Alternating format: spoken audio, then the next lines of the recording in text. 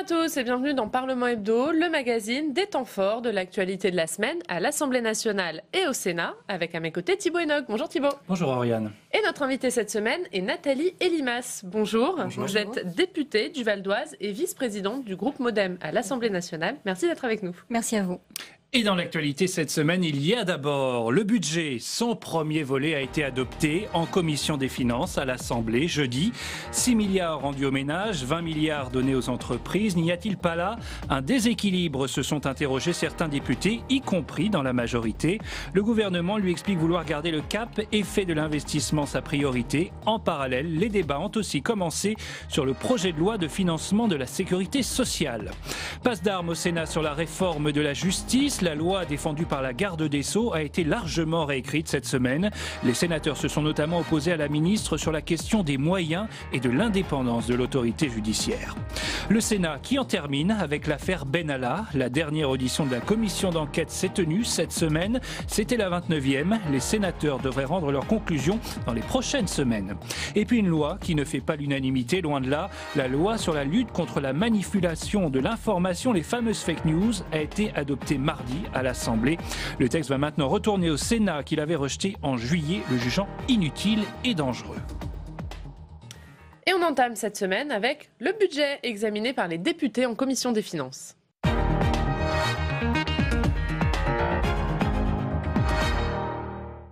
Le gouvernement le présente comme le budget du pouvoir d'achat, mettant en avant 6 milliards d'euros euh, de baisse d'impôts pour les ménages, une première depuis 10 ans. Mais lors de l'examen du texte en commission, des députés, y compris de la majorité, ont demandé un rééquilibrage du texte, le jugeant trop favorable aux entreprises. Stéphanie Depierre. Le budget 2019 est-il trop favorable aux entreprises? C'est l'angle d'attaque de la gauche. Mais même du côté de la majorité, des voix s'élèvent pour dire qu'il faut rééquilibrer le projet du gouvernement. La députée Émilie Cariou, soutenue par les communistes, s'oppose à un renforcement de la niche copée pour les entreprises. En gros, les entreprises paieront peut-être un peu plus d'IS et euh, en retour, on va élargir la niche copée et leur permettre de récupérer un peu plus d'argent. Il n'y a aucune étude d'impact qui est faite là-dessus, d'une part. Et d'autre part, quand on voit ce que euh, coûte la niche copée au budget de l'État, euh, quand même, ça fait tousser. En 2017, c'est 4 milliards 4 et en 2018, 7 milliards. Euh, Des études d'impact sur une année, ça ne suffit pas. Il faut utiliser plusieurs années. Euh, et puis même sur le fondement même de, de cette compensation, moi je pense que c'est excessif. La hausse du diesel divise l'opposition et la majorité. Majorité qui cherche le bon équilibre entre fiscalité écologique et pouvoir d'achat. Le député Mathieu Orphelin pointe le problème du prix du pétrole.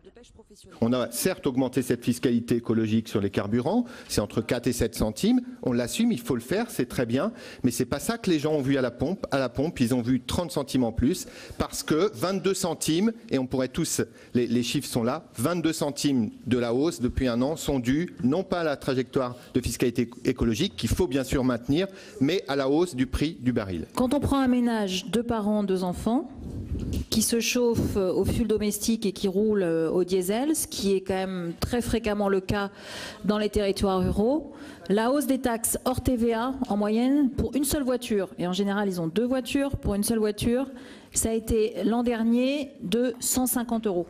Sur l'écologie, la majorité s'inquiète pour les agriculteurs bio. En l'absence d'acompte, le prélèvement à la source risque de fragiliser leur trésorerie. Un amendement propose d'y remédier. Grâce au soutien des députés La République En Marche, il est adopté contre l'avis du rapporteur du budget. L'amendement est adopté. Les amendements sont adoptés. Toujours sur le prélèvement à la source, la droite parvient à faire passer un amendement pour plus de transparence. Le fisc devra donner ses calculs aux contribuables. Nathalie Elimas, le gouvernement présente ce budget comme celui du pouvoir d'achat. Mais est-ce que ce sont vraiment les Français les grands gagnants de ce budget? Oui, il me semble que ce sont les Français, en effet, les grands gagnants de ce budget. D'abord, moi, je veux saluer, euh, euh, la, présentation de, ce budget comme étant, euh, je pense, sincère, volontaire et respectueux des engagements qui ont été pris par, par Emmanuel Macron. C'est d'abord une promesse tenue, celle de l'amélioration des services publics. On le retrouve avec notamment une augmentation de 4,4% sur la justice. Le régalien est renforcé notamment par les armées ou l'éducation nationale. Donc un, budget sincère et qui tient euh, ses promesses. Et puis aussi, il est l'expression de la stratégie des réformes à moyen et long terme engagée par, euh, le président de la République. Euh, et puis, évidemment, bien sûr, il y a quand même une baisse significative des impôts cette année, 6 milliards d'euros, ça n'est pas rien. Il y a une volonté réelle et sérieuse d'aller vers plus de pouvoir d'achat, et notamment en ce mois d'octobre, on aura un impact là imminent, immédiat, puisque euh, les Français perçoivent déjà euh, sur leur feuille d'imposition une réduction de la taxe d'habitation qui est d'environ 200 euh, euros à peu près par, par foyer. Alors pour vous, il n'y a pas besoin de rééquilibrage dans ce texte, ce n'est pas trop favorable aux entreprises? Rééquilibrage, en tout cas, moi je pense surtout que c'est une mesure, c'est un texte euh, sur lequel, je crois, on s'est engagé un petit peu comme des équilibristes, en effet, parce qu'on a effectivement cette réduction des impôts, on a euh, la réduction de la dépense publique, quand même, il faut qu'on en parle. Hein. On est à 80 milliards d'euros, c'est 4 points du PIB, ça n'est pas anodin. Et puis, on a aussi quelque chose qu'il va falloir aborder de, de façon décomplexée et sérieuse, c'est la réduction de la dépense. Alors, on, en a parlé dans ce sujet. Par exemple, prenons un exemple, ce qu'on appelle la, niche copée. Hein. Il s'agit d'une exonération d'impôts euh, sur les plus-values à long terme euh, sur les cessions de filiales et titres de participation. Le gouvernement souhaitait abaisser la part euh, de, ces plus-values taxées de 12 à 5% coût estimé à peu près 3 milliards. Finalement, il a fait machine arrière. Est-ce qu'il n'y a pas dans ce budget le risque de retomber dans l'image du budget pour les riches, qui est l'étiquette qui avait collé au budget 2018 non, je ne crois pas, puisque encore une fois, je vais vous reparler de ces 6 milliards d'impôts, de la taxe d'habitation et de toutes les mesures qui sont prises quand même pour aller soutenir les plus défavorisés, notamment euh, la prime d'activité, euh, l'allocation d'adultes handicapés. Enfin, il y a un certain nombre de mesures qui vont dans ce sens. Là, je ne suis pas tout à fait d'accord avec ce que, vous, ce que vous me dites. Alors, on va avancer sur un autre texte budgétaire, parce qu'il a été aussi euh, discuté cette semaine à l'Assemblée. C'est le projet de loi de financement de la sécurité sociale, cette fois-ci. Et il prévoit notamment de nouvelles économies sur les médicaments. Écoutez la ministre de la Santé Agnès Buzyn. Je veux mentionner également mon souhait de poursuivre le développement des génériques. La responsabilité de l'assurance maladie, c'est de rembourser à efficacité thérapeutique égale le médicament le moins onéreux. S'il n'y a pas de motif médical à la délivrance du Princeps, alors qu'il existe un générique moins cher, c'est-à-dire que s'il n'y a pas mention sur l'ordonnance de non substituable, il n'y a aucune raison de faire supporter un surcoût à l'assurance maladie. Je propose dans ce cas que le princeps soit à l'avenir remboursé sur la base du générique. Nathalie Elimas, d'abord une question de méthode. Le texte a été présenté en, Conseil des ministres mercredi euh, matin. Vous avez commencé son examen mercredi soir en, commission. On vient de le voir, on parle de 58 articles, 170 pages de loi. Est-ce qu'en tant que député, on peut travailler dans cette urgence? Absolument pas. D'ailleurs, je vous remercie de me poser cette question parce que dans tous les cas, je vous en aurais parlé. En effet, nous avons auditionné euh, Madame la ministre des Solidarités et de la Santé et également euh, Monsieur Darmanin euh, mercredi soir. Nous avons reçu le texte très précisément à 17h46, 58 articles, 177 pages et surtout, et c'est peut-être le document le plus important puisque nous avions quand même un pré-projet la semaine dernière, l'étude d'impact. L'étude d'impact qui nous permet d'apporter des précisions, des modifications, des amendements de façon sérieuse au texte un document de 500 pages. Donc non, véritablement, on ne peut pas travailler dans ces conditions. On ne peut pas amender, euh, s'imprégner correctement du texte dans ces conditions. Alors, Madame Bourguignon, la, présidente de la commission des affaires sociales, d'ailleurs, l'a très très bien dit. Le Parlement n'est pas une variable d'ajustement et le travail, les travaux des parlementaires doivent vraiment être respectés. Sur ce qu'on a entendu, sur les médicaments, vous soutenez cette mesure sur euh, les génériques? Oui, moi je pense que c'est une bonne mesure. Dès lors que, comme l'a dit la ministre, sur le principe, on est, on est à, situation équivalente, il n'y a pas de raison d'aller vers un médicament qui va être plus cher, sauf si véritablement c'est précisé sur l'ordonnance, un non substituable par le médecin dans des conditions très précises. Mais sinon, puisque l'on va vers les économies, et d'ailleurs il faut quand même souligner le, budget euh, cette année euh, des comptes de la sécurité sociale, qui est quand même un budget qui est excédentaire pour la première fois depuis 18 ans. Il reste en effet une dette abyssale importante à résorber d'ici 2024, mais tout ça justement va dans le bon sens. Si on veut résorber la dette, il faut faire des choix, il faut prendre des décisions claires, et celle-ci en est une. Les pensions de retraite seront quasiment gelées, hein. elles augmenteront de 0,3% alors que l'inflation sera supérieure à 2%. Est-ce que ce gouvernement fait peser trop d'efforts sur les retraités? Alors c'est le sujet et c'est vrai qu'on est un petit peu en train de stigmatiser les retraités contre les actifs. Alors pour ce qui est de la retraite, euh, en dehors d'un article spécifique sur la CSG, euh, ce sujet ne sera pas abordé à l'occasion du PLFSS, mais bien dans un texte totalement, euh, totalement distinct. Sur la CSG, le groupe Modem et Apparenté avait présenté l'année dernière des amendements visant à relever le seuil de déclenchement effectivement de la CSG, puisque nous estimions que ce qui était proposé était, était largement insuffisant. Et d'ailleurs, je me réjouis, je me félicite que, alors que ces amendements n'ont pas été adoptés l'année dernière, le gouvernement y soit revenu et finalement, c'est 300 000 à 300 150 000 euh, retraités qui vont euh, bénéficier de, cette mesure euh, dans l'année à venir. Alors il y a un autre sujet, c'est l'alcool. Des médecins ont écrit cette semaine à la ministre de la Santé. Ils estiment que la lutte contre l'alcoolisme est absent de ce budget. Ils demandent de taxer plus fortement l'alcool pour financer un fonds de prévention. Qu'est-ce que vous en pensez? Alors la prévention, elle est pourtant bien présente hein, dans, ce, dans ce texte et elle l'était l'année dernière. Elle est vraiment en première ligne dans le, plan Ma Santé 2022.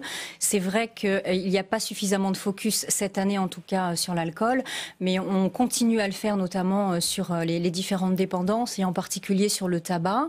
Le tabac, on l'a introduit l'année dernière. L'idée, c'est de l'amener à 10 euros, le paquet de cigarettes. C'est à la fois dans le sens de la prévention des jeunes et puisqu'on est en octobre, quand même, je me permets une, petite parenthèse, c'est et c'est aussi très important dans la lutte contre, contre le cancer. Mais je reste néanmoins d'accord avec vous. Il, faut, il faudra en tout cas à l'avenir mettre l'accent euh, sur, sur cette question. Allez, on en vient à notre deuxième thème, la réforme de la justice.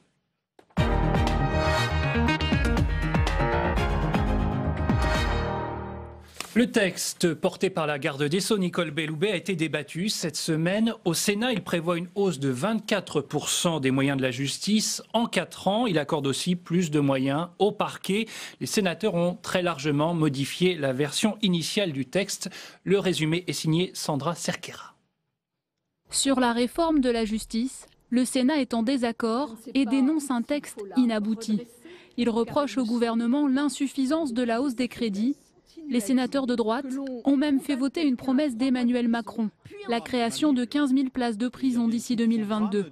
Un amendement qui a donné lieu à des échanges animés en séance avec la ministre Nicole Belloubet. Je sais que vous êtes soucieuse et, rigoureuse dans vos propos. Je crois que c'est important de, simplement d'ici de, valider une fois pour toutes le fait que le programme présidentiel a été revu par deux. Mais vous savez très bien, parce que vous êtes un élu du territoire, que ce n'est pas simple de trouver des terrains. Vous savez très bien qu'il y a des procédures à respecter. Vous savez très bien qu'il y a des analyses de terrain à faire. Vous savez très bien qu'il y a des dossiers à construire. Il faut pour cela du temps. Un peu de calme. Nouvelle passe d'armes concernant le renforcement des pouvoirs du parquet voulu par le gouvernement, avec la mise sur écoute ou l'enquête sous pseudonyme pour les crimes et délits passibles de trois ans de prison. Pour le Sénat, cette réforme porte atteinte aux libertés individuelles. Nos rapporteurs euh, ont très longuement discuté avec les représentants des juges euh, des libertés et de la détention. Et ils en ont retirer la conviction absolue qu'il ne serait pas en mesure d'exercer un contrôle utile sur l'exercice par les procureurs des pouvoirs que vous voulez leur donner. Incompréhension de la garde des Sceaux qui craint un retour en arrière, notamment dans les enquêtes en matière de pornographie infantile. Il faut quand même avoir ici la préoccupation des victimes.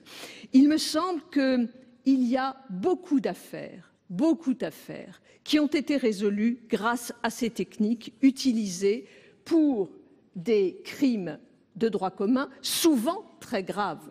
Malgré les promesses d'écoute, chacun reste campé sur ses positions. Les débats sont rapides, avec une ministre de la Justice systématiquement mise en minorité. Le vote solennel du texte aura lieu le 23 octobre prochain. Oui, monsieur le. Alors, les sénateurs dénoncent un texte inabouti, notamment sur la question des moyens accordés à la justice. Est-ce que vous êtes d'accord? Non, là, je suis pas d'accord.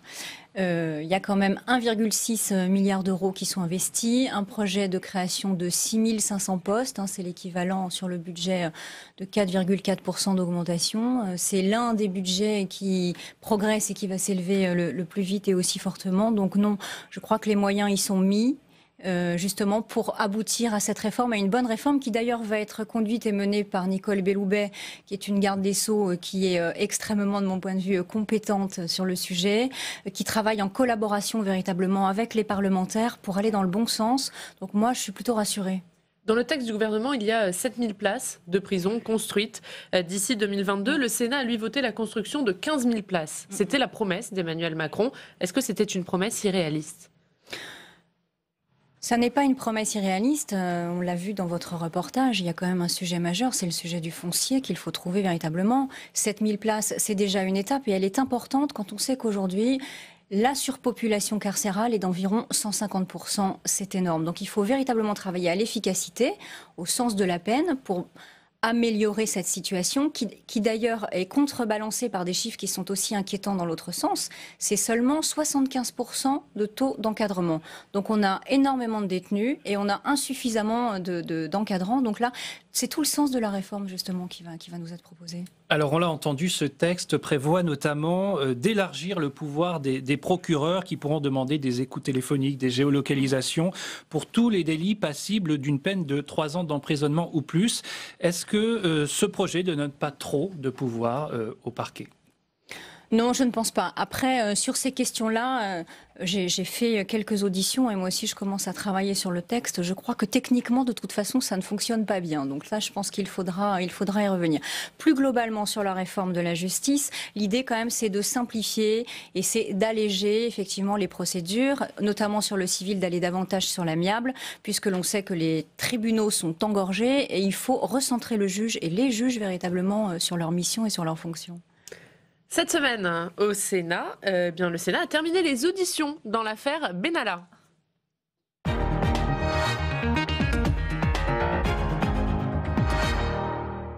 Et c'est Sophie Hatt, l'ancienne chef de la sécurité sous François Hollande, qui aura donc été la dernière auditionnée. Au total, euh, ce sont 29 euh, auditions euh, auxquelles ont procédé la commission d'enquête sénatoriale, dont celle d'Alexandre Benalla lui-même. La commission d'enquête va maintenant rédiger un rapport attendu dans les prochaines semaines. Quentin Calmé.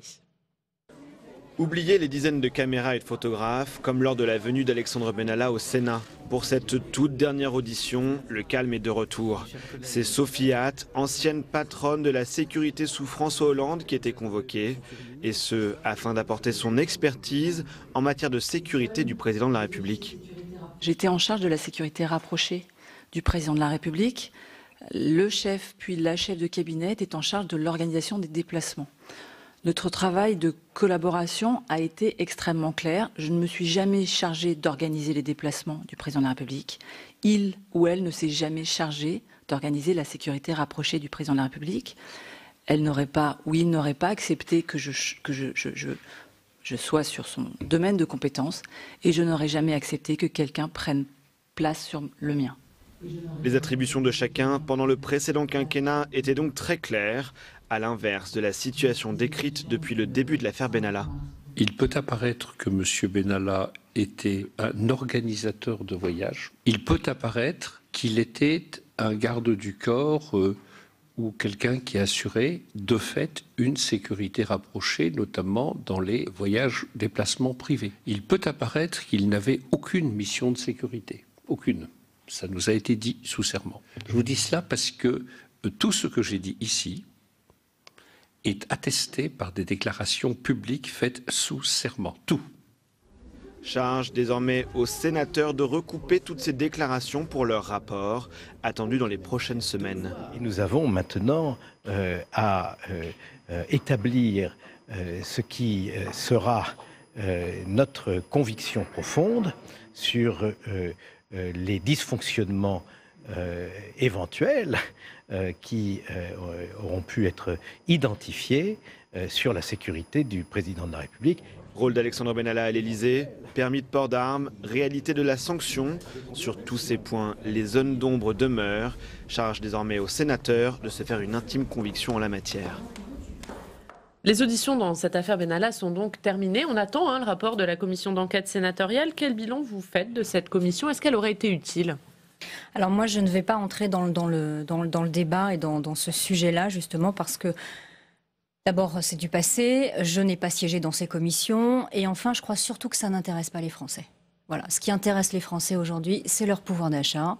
Ce qui intéresse les Français aujourd'hui, c'est la sécurité.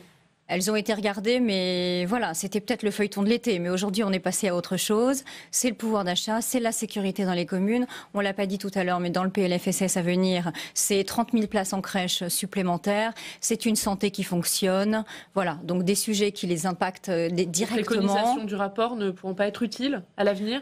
Elles pourront l'être. En tout cas, deuxième chose, la justice fait son travail. Il convient de la laisser travailler sereinement et on verra ce qu'il en ressortira. Donc il était temps que cette affaire se termine? Il était temps que cette affaire se termine, en effet, mais nous, nous sommes au travail aujourd'hui sur des sujets qui sont, de mon point de vue, bien plus importants, hein, comme les finances de l'État et la santé des Français. Allez, on en vient à notre dernier thème, la loi contre la manipulation de l'information.